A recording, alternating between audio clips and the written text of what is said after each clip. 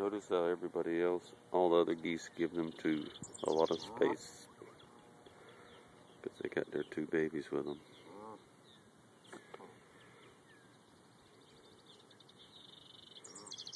Don't be seem to be afraid of me none though. They were probably babies themselves one day. And coming up here getting food, fish food when I feed the fish. But that one right there on the left's got something stuck on his head. It's like a piece of fishing string or something. It's right across his forehead.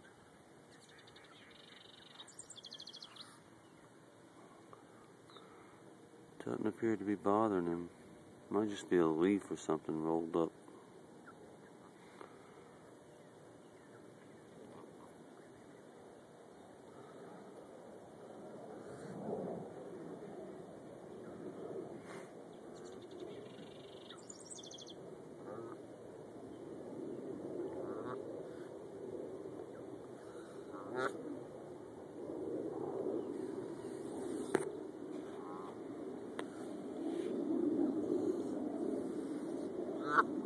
Mallard over there.